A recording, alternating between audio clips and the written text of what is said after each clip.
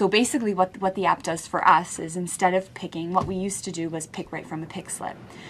But what it does right now is the, the picker and the packer actually picks right from the mobile device. So it's an iPod attached to a scanner and you literally bring up an order and scan in the items that are displayed on your screen. So once you log in, you're at the um, main screen and you go to pick sales order.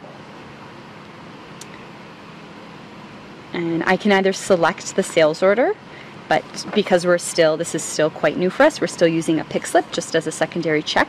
So uh, you just scan the barcode here and it'll scan the sales order number and it'll automatically bring up that order for me. Um, okay, so this is the order. So it shows me, um, you know, the number of items I've picked, a number of items that are remaining to be picked. Um, so I can I just go into the details tab here and then I can start and it, it, follows the same flow as my pick slip does. So it takes me through the aisles um, in the, the regular flow. So I'm just scanning the actual barcode on the item as I grab them it vibrates, the scanner vibrates when I've scanned the correct item. And because it asks for three items or three units, and I've picked them all, it automatically goes to the next item that I've got to scan. If I were to pick, if I were to scan this item here, I get an error here. It says the product that you just scanned is not available to be picked for this sales order. So automatically I know that I've picked the wrong item.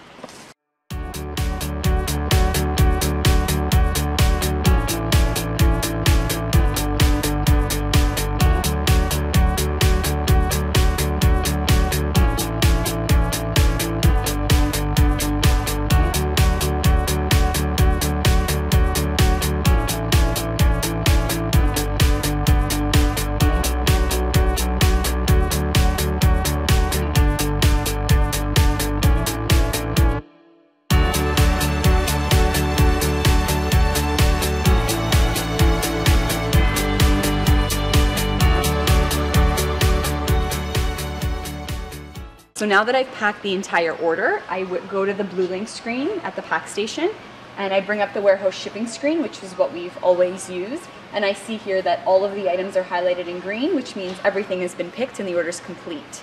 So they turn green once the item is scanned. So the item was actually scanned at source while it was picked. So now literally all I've got to do is box up the order and uh, do the, the freight for it and ship it with the courier. Then I'm done and it'll print the packing slip for me and the, the shipment is complete.